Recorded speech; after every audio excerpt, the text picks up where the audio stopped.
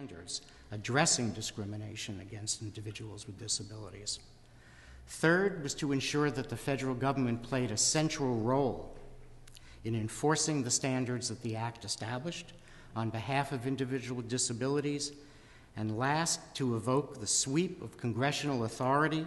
Some of us think it's not as much as it used to be, but I think there is a lot of authority in Congress, including the power to enforce the 14th Amendment and to regulate commerce in order to address the major areas of discrimination faced day to day by people with disabilities. The Act's five titles each relate to areas of everyday life and are designed, as I said, to prohibit discrimination. The first title on employment indicates that employers may not discriminate against an individual with a disability in hiring or promotion if the individual is otherwise qualified for the job. Employers can ask about one's ability to perform a job, but cannot inquire if that individual has a disability.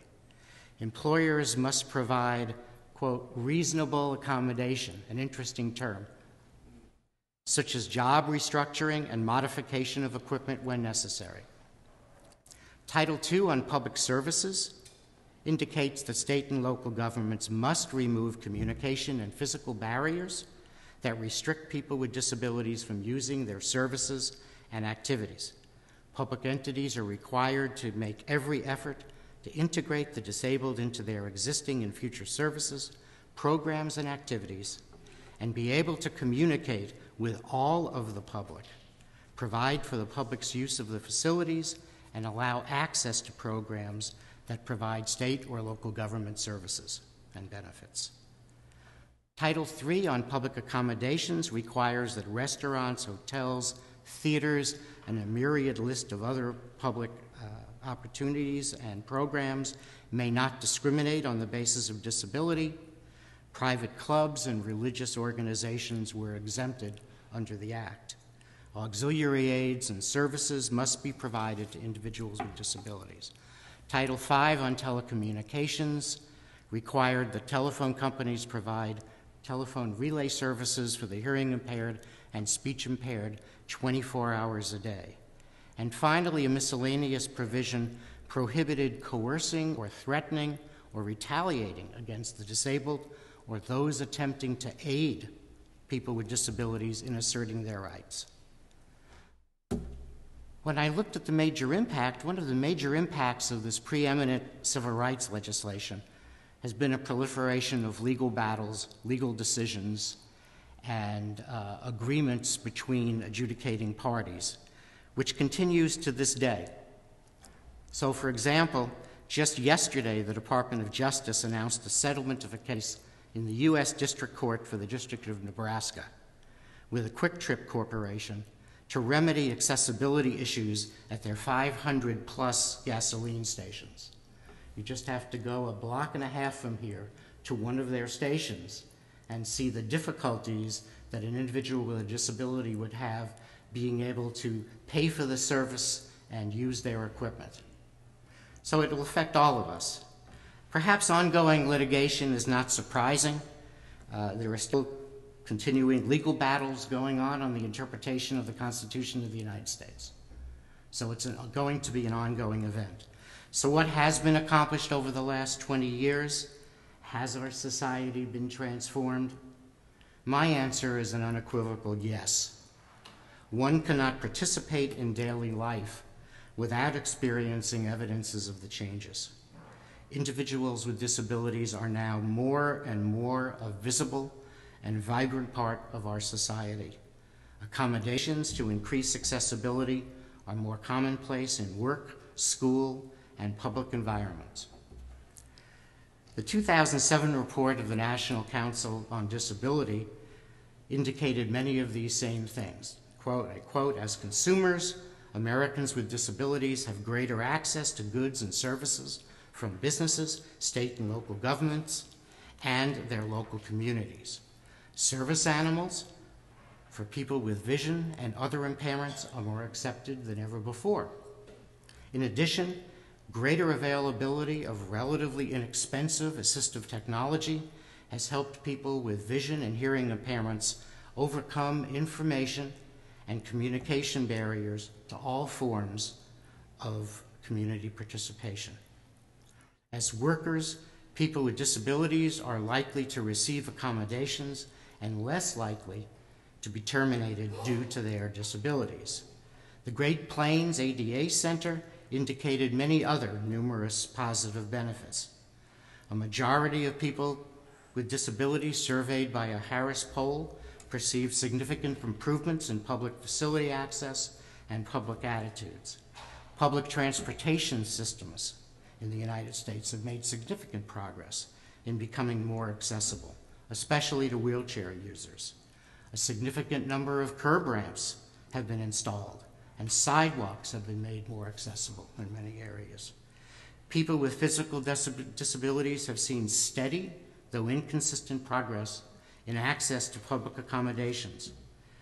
People with sensory or communication disabilities were unfortunately less likely to report experiencing progress in access to public accommodations. The percentage of Americans with disabilities voting in 2008 increased dramatically from prior years. And the education gap between people with disabilities and with people without disabilities is shrinking. And people with disabilities are attending post secondary institutions in greater numbers. Many employees with disabilities are experiencing less discrimination on the job. I thought what I would do is share some comments from fellow Nebraskans with disabilities on the impact of the ADA on their lives. Kathy Howell from the State Independent Living Council stated, quote, I became disabled in 1982, and I woke up from a coma to find out I was a second class citizen. I could not go anywhere or do anything. I was an RN and I lost my license because I was disabled. To me, the ADA means I have my civil rights and liberties back. I'm a real person, just like everybody else. Tim Kolb for the Foundation of Disability Education and a colleague of mine from the Nebraska Developmental Disabilities Council stated the Title II of the ADA provides that a person with a disability has the right to care quote, in the most integrated setting appropriate to the needs of the individual. Now, this is a part of the ADA is there for people like me who wish to live and not just survive. This is most certainly a precious provision of the ADA worthy of great celebration on the occasion of the ADA's 20th anniversary in AD 2010. And Nancy Erickson, an associate minister at the First Plymouth Congregational Church in Lincoln, Nebraska, stated that the biggest change in my life took place in my ability to travel. As soon as the rules and regulations took effect, I was able to fly anywhere and get transportation from the airport to my destination. This opened up many more options for me. Also, when I took a cruise, I was able to take part in many of the side trips because the company was forced by law to make them accessible. Generally speaking, I'm now able to be more active and engaged in the world around me. All wonderful things. What remains to be done? Well, people with visible and severe disabilities continue to experience discrimination in hiring. The unemployment percentages for individuals with disabilities remain unacceptably high. There unfortunately is no clear evidence that Americans with disabilities are becoming economically self sufficient. Private transportation companies lag behind in providing accessible services. People in rural areas continue to be underserved by public transportation, and as a result, participate less in all aspects of community living. According to government statistics, between October 2001 and February 2008, more than 30,000 veterans returned home with service related disabilities, including amputations, burns, post traumatic stress disorder, depression, and traumatic brain injuries. Despite the amendments to the ADA in 2008, significant disparities still exist between the designation of a quote disabled veteran by the Department of Veterans Affairs and the qualification of that veteran for protection under the ADA. There is an absence of systematic, ongoing data collection about the ADA, and the result is still significant language gaps about the impact it's had on our society. In summary, the ADA, while not a panacea, has benefited all of us in ways both simple and profound. Computer screen technology, developed for people with visual impairments, is also helpful to students and adults using English, learning English as a second language, as is closed captioning on TV. In fact, closed captioning helps all of us, catching headlines while we're in a busy airport or following the Husker games in a very loud sports bar. I had to get in Nebraska. Speech recognition software, originally designated for people unable to use keyboards, is now used by many cell phones and other handheld devices, and for many of us are just very poor typists. Bluetooth technology helps not only individuals with limited mo- mobility use a cell phone, it helps us all keep our eyes on the road. As Americans, uh, as and older Americans, pardon me, as they became less mobile. The ADA has increased accessibility, expanded opportunity, and allowed us to participate more in our society. On the 20th anniversary of the ADA, I'm reminded that disability is a natural part of life. And as we age, more and more of us will come to appreciate the wisdom of the writers of the ADA. Thank you very much. Because the company was forced by law to make them accessible. Generally speaking, I'm now able to be more active and engaged in the world around me. All wonderful things.